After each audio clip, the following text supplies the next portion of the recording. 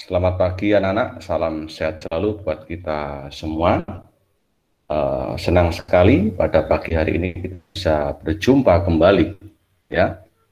Bahwa di pagi hari ini kita akan bersama-sama untuk belajar tentang suatu konservasi ya. Apa itu konservasi nah nanti kita akan bahas lebih lanjut oleh sebab itu kemarin sudah diberikan materi sebelumnya, sudah di-share temanmu uh, melalui WA group, ya kan?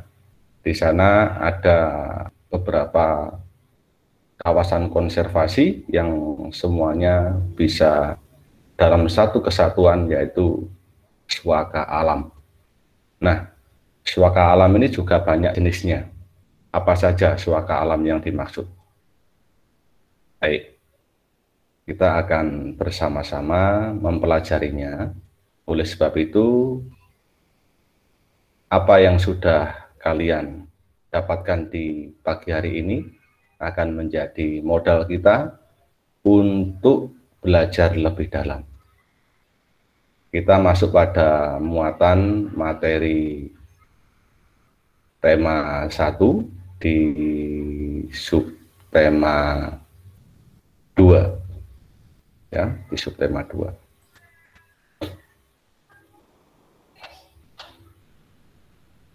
Apakah di layar sudah bisa kalian lihat semua? Sudah, Mister. Sudah, Mister. Oke. Kita akan bersama-sama menyanyikan lagu kebangsaan Indonesia Raya.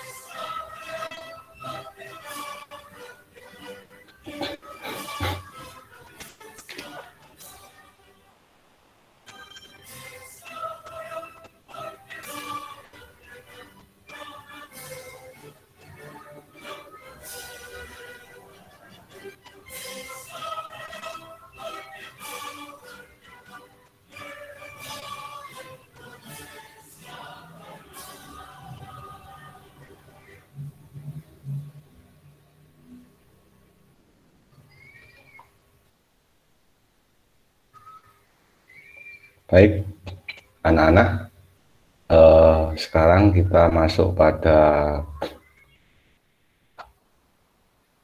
usaha untuk melestarikan flora dan fauna di Indonesia. Bisa membaca tulisan itu? Kurang besar? Cukup?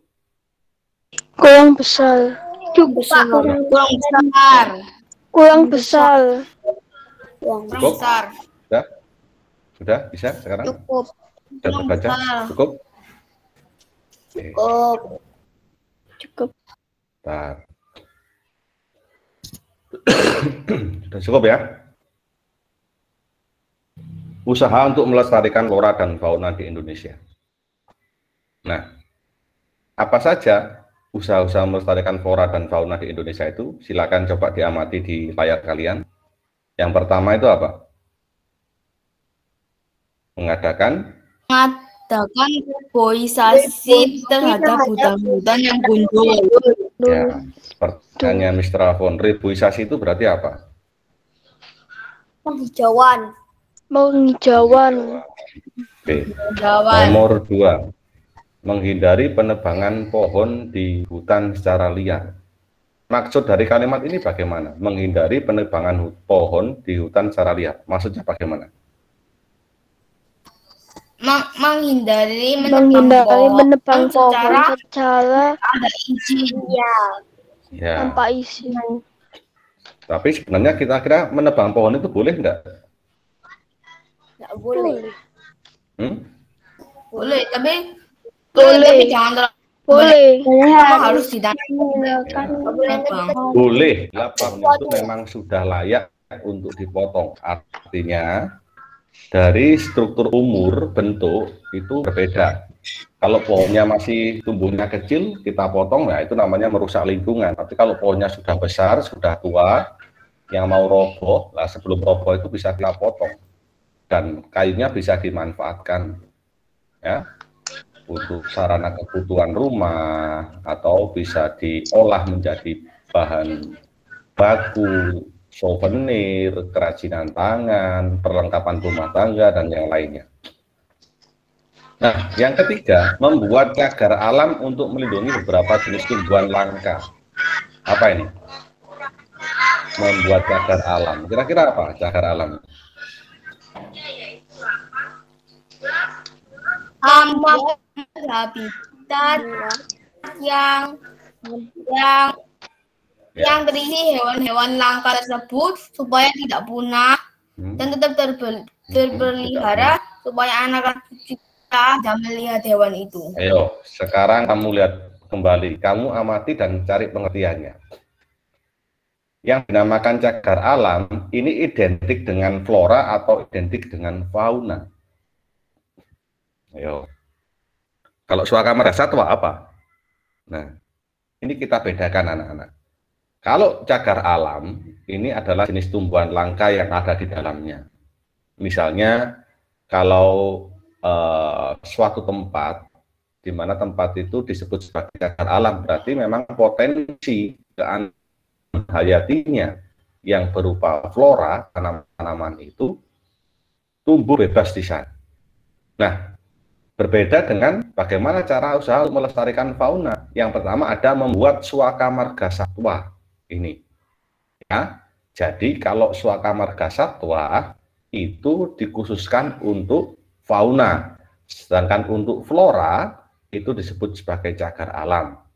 Tapi dua-duanya ini bisa menjadi satu tempat. Contohnya, kalau kamu per- pergi ke Malang, di Malang di pantai selatan, kalau kamu di dekatnya Goa Cina itu ada namanya Pantai Sendang Biru. Nah, ini satu contoh. Dari Pantai Sendang Biru, ini kira-kira kurang lebih sejauh 6 km menggunakan perjalanan perahu, kamu akan menemukan sebuah pulau yang disebut sebagai Pulau Sempu.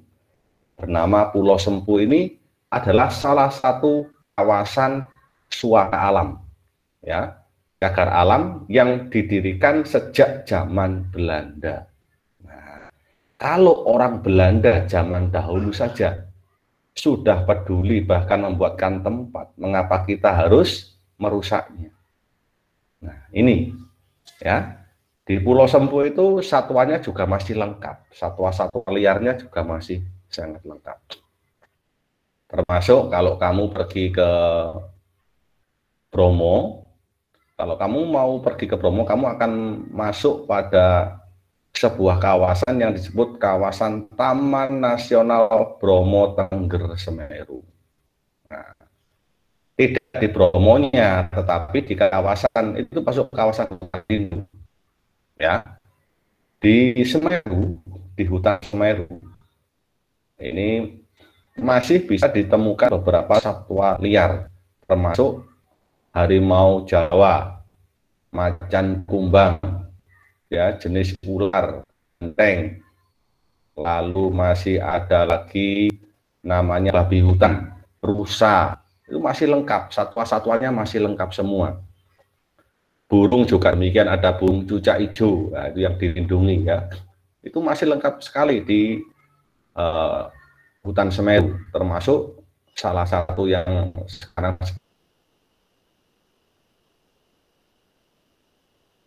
sedang punah yaitu adalah elang.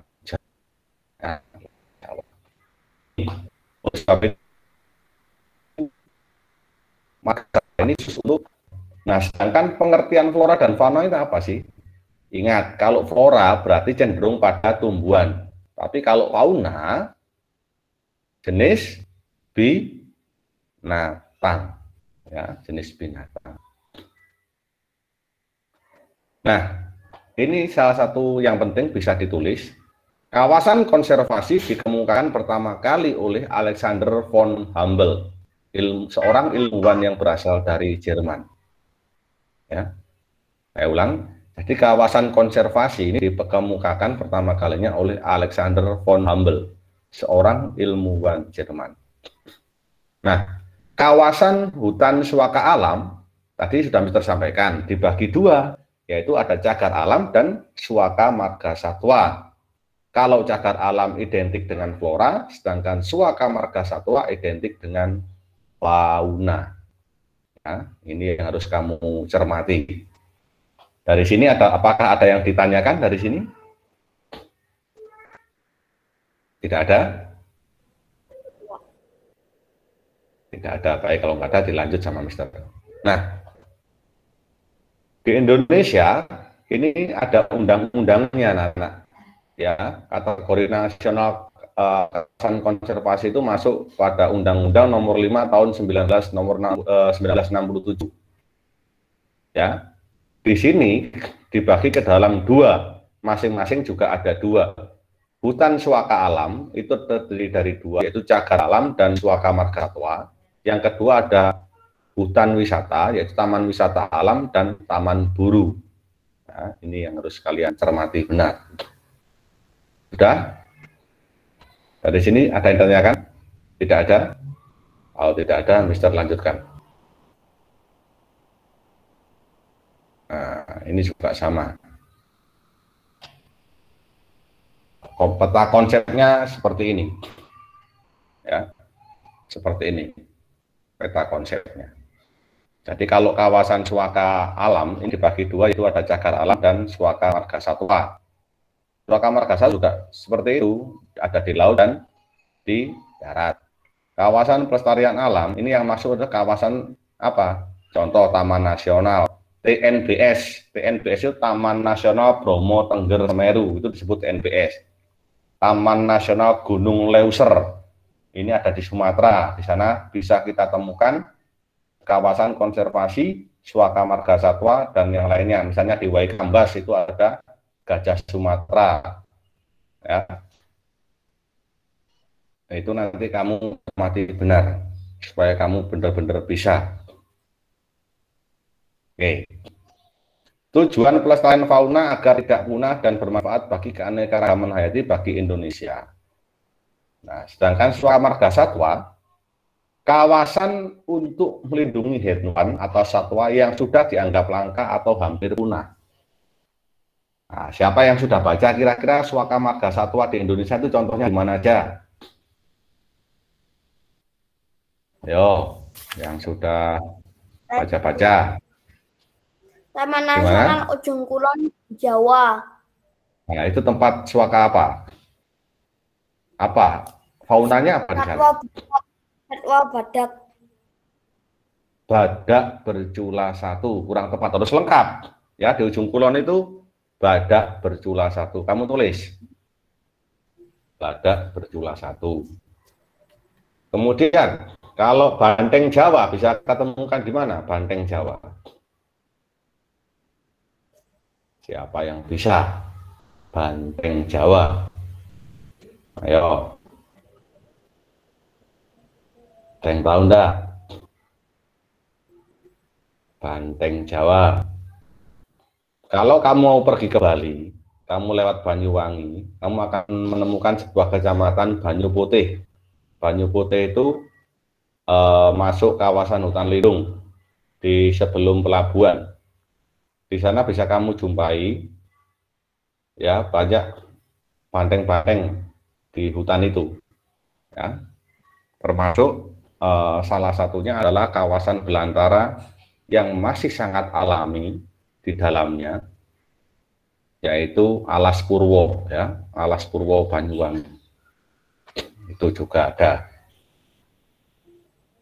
Nah, kalau kita perhatikan anak-anak, tadi di dalam suaka marga satwa itu berarti pasti ada hewan khasnya, ya, ada hewan khas. Hewan khas itu ya tidak dimiliki di daerah lain. Coba eh, siapa yang tahu kira-kira di mana tempat sekarang kawasan konservasi penyu hijau oh, di Jawa Timur di mana? Siapa yang tahu penangkaran penyu hijau di Jawa Timur? Ada yang tahu enggak? Halo? Enggak. Ada yang tahu enggak? Enggak. Bisa dinyalakan mic-nya? Enggak. Dicatat ya, dicatat. Penyu hijau itu bisa kita temukan di Pantai Sukamade, Jember, Jawa Timur. Nah, tulis. Pantai Sukamade.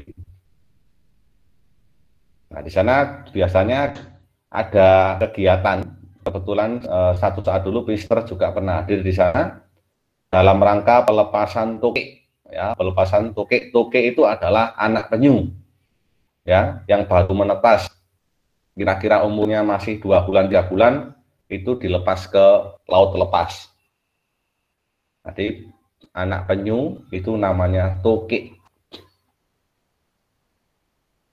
Upaya pengawetan suaka marga dilaksanakan dalam bentuk perlindungan dan pengamanan kawasan.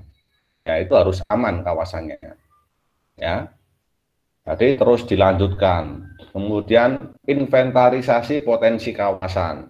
Inventarisasi itu pendataan anak-anak. Apa yang bisa didapatkan dari kawasan tersebut, potensinya apa? Hal positifnya apa? Hal negatifnya apa?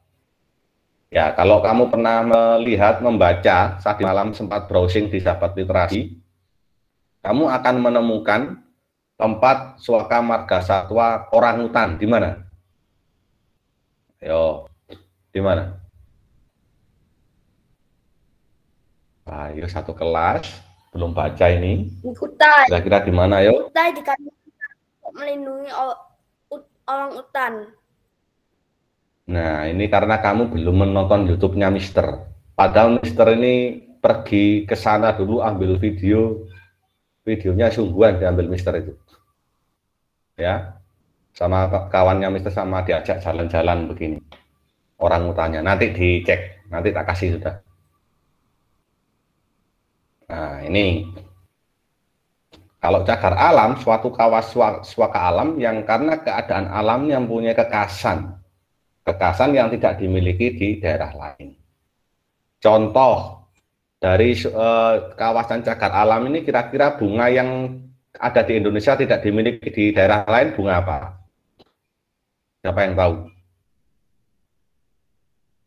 Eh ditulis, mereka tahu. Bunga Rafflesia arnoldi. Tulis. Rafflesia Arnoldi itu yang menemukan Tom Raffles. Tom Raffles adalah jenderal Inggris. Seorang jenderal Inggris. Nah, manfaat cagar alam ini apa? Melindungi flora dan fauna dari ancaman kepunahan, menjaga kesuburan tanah, mengatur tata air, menjadi tempat wisata. Nah, ya, sebagai tempat wisata. Kalau sudah jadi tempat wisata, banyak orang pergi ke sana, menambah pendapatan, menambah devisa negara.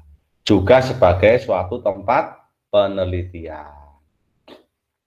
Nah, usaha konservasi ini yang harus kita lakukan apa? Tidak melakukan penebangan hutan.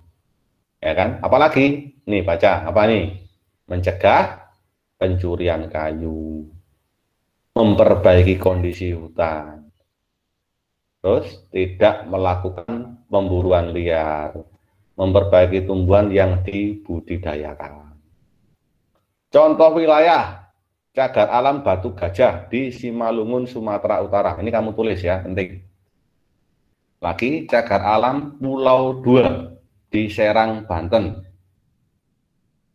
Cagar alam Pulau Bokor di Kepulauan Seribu, Jakarta.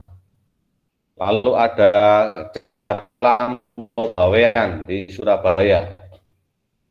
Juga contoh cagar alam. Sudah semua? Sudah? Apa, Mister? Halo anak-anak? Sudah ditulis ini ya? Sudah ya? Oke. Belum selesai. Oke, Ya, lanjut.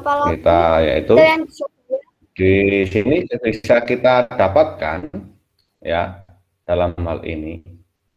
Nah, Silakan dilihat, dicermati dan dibaca. Nah, cagar alam itu pasti ada keanekaragaman di sana. Jadi banyak ya, lebih dari satu. Ya. Kondisi alamnya, fisiknya seperti apa, itu ada semua. Dan tidak dimiliki daerah yang lain karena memang punya karakteristik sendiri. Ya. Nah, ini untuk suaka marga satwa. Merupakan tempat kehidupan bagi jenis satwa migran tertentu, bisa satwa langka atau yang akan punah. Nah, nanti kita akan saksikan bersama. Taman Nasional memiliki sumber daya alam khas dan unik, baik berupa jenis tumbuhan maupun satwa dan ekosistem serta gejala alam yang masih utuh alami. Taman Nasional Semeru yang ada di Jawa Timur ini ya, Bromo Tengger Semeru. Memiliki satu berapa ekosistem yang masih utuh. Utuh memang belum terjamah ya. Jadi kawasannya bisa dikembangkan sebagai potensi pariwisata alam. Kamu lihat Gunung Bromo itu sebagai sektor pariwisata alam. Mempunyai luas yang cukup untuk menjamin kelangsungan proses ekologi secara alami. Nah, terkadang begini anak-anak ada masalah itu justru ketika banyak pengunjung, misalnya pengunjung itu buang sampah sembarangan.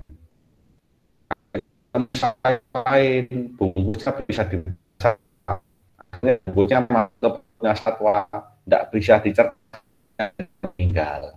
Nah, ini sudah sudah punah, terus ketambahan mati lagi.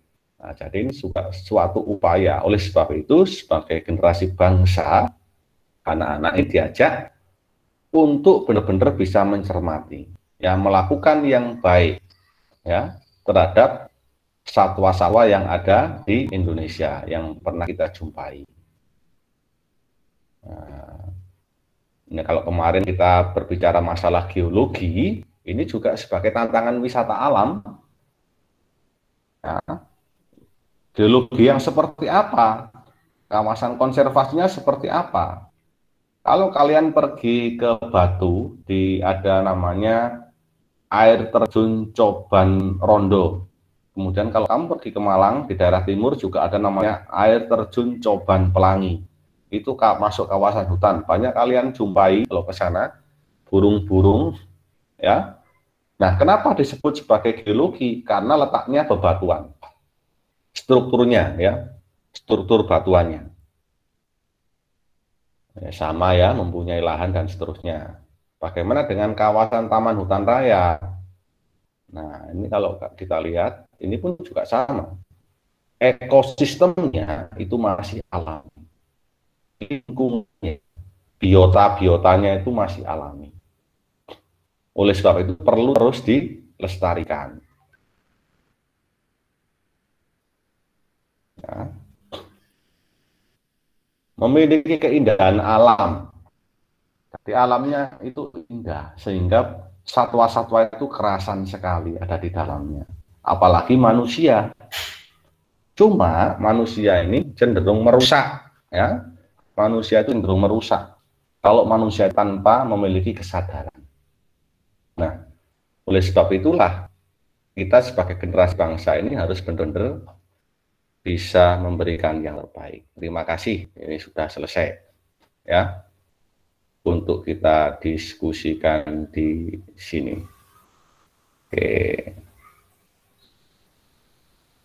Bentar. Dah. Sekarang kita kembali ke pokok bahasan.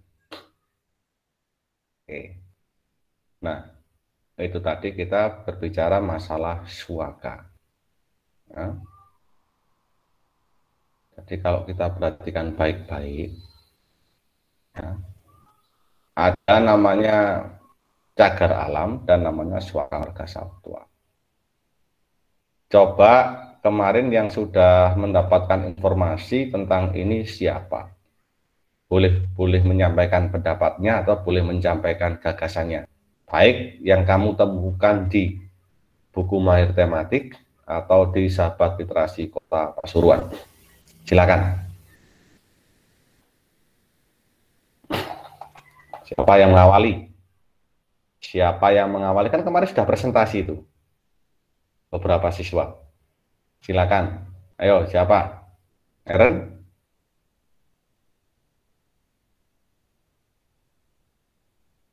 Eren.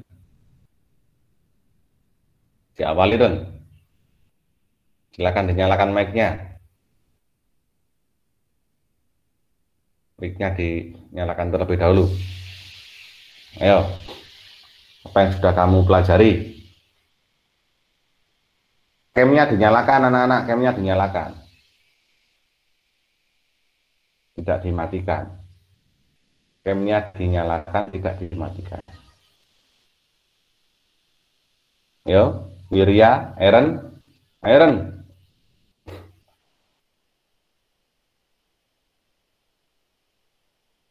Wirya, Wirya. Halo Wirya. Iya. Wirya. Oke. Iya. Apa yang sudah kamu dapatkan di buku mahir tematik? Di buku mahir tematik kamu mendapatkan informasi tentang apa aja? Aku belum sempat apa yang kamu kemarin. dapatkan di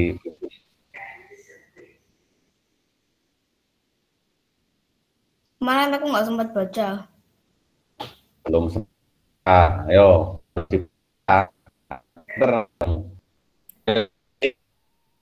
ya jadi nggak ada ya kita tutup aja sekolahnya. Lah ya apa? Oh, kalau semua ditanyain nggak ada yang tahu.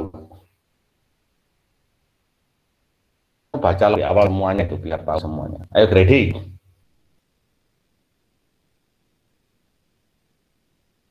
Grady Aaron.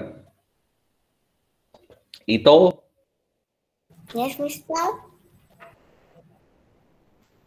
Ya, apa yang di buku matematik kamu dapatkan apa? Ayo, Mister pengen tanya. Tentang flora dan Apa yang kamu dapatkan di buku matematik? Ya, bagaimana? Tentang Jelaskan di sana. Di sana tertulis apa? Iya, tentang kenapa? Bagaimana dengan flora dan faunanya? Kenapa?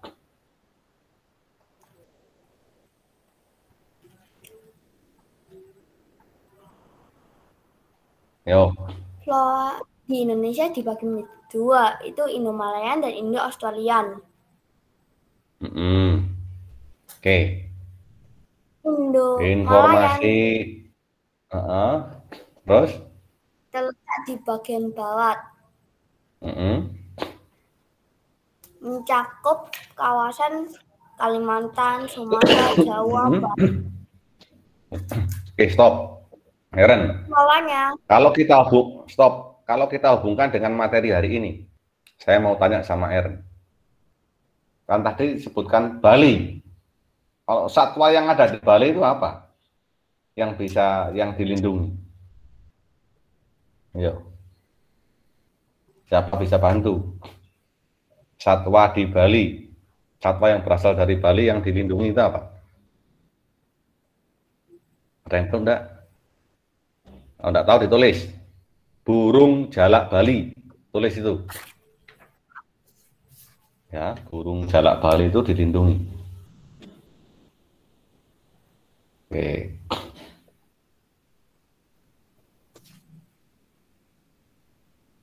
yang dilindungi Ya. itu burung jalak Bali. Mm-mm. Burung jalak Bali. Terus, kan banyak itu di Papua. Satuannya dari Papua yang terkenal itu apa? Apa? Yang masuk dalam kawasan Suaka yaitu burung burung cendrawasih. Burung cendrawasih. Burung cendrawasih, bagus. Irfan, silakan Irfan. Ayo Pak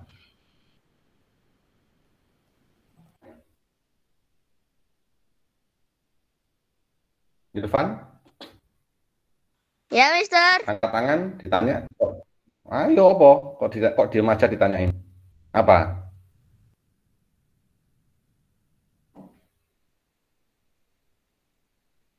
Apa? Ayo, binatangnya apa aja? Wah, kalau angkat tangan itu anak-anak literasimu itu kurang sekali, rendah sekali. harus banyak baca sungguhan ya. Semua berlaku untuk semua. Sehingga tidak seperti ini. Ini namanya pembelajarannya tidak aktif ngantuk semua kamu. Harusnya kamu itu belajar itu ya sudah siap menerima pelajaran. Ditanya itu ya ngerti. Tidak diam. Ya. Oke, kalau karena kamu diam, maka kita akhiri pertemuan kita pada pagi hari ini. Ya, besok lagi tidak usah seperti ini dan tidak ulah diulang lagi. Tunjukkan sikap yang baik. Ya, supaya pembelajarannya benar-benar kamu belajar itu ada yang kamu dapatkan. Itu ya. Jadi harapannya Mister itu benar-benar anak-anak ini uh, memiliki kemampuan untuk bisa memberikan apa memberikan yang terbaik bagi dirimu sendiri gitu loh. Jadi kalian harus belajar itu tidak harus disuruh orang tua tapi harus aktif sebagai siswa itu pelajari semuanya apa yang mau kamu pelajari. Ya itu. Dari Mister apakah masih ada yang ditanyakan? Apakah yang bertanya atau yang ditanyakan? Mister Nanti ada sesi dua dah. Ya, silakan. Kamu Apakah nanti ada sesi dua? Materi sesi satu dulu.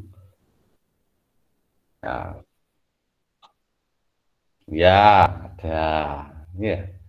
Nanti di sesi dua kita bahas matematika. Oke. Ya. Nah, sekarang dari sini dulu ada pertanyaan Anda. Cukup? Cukup?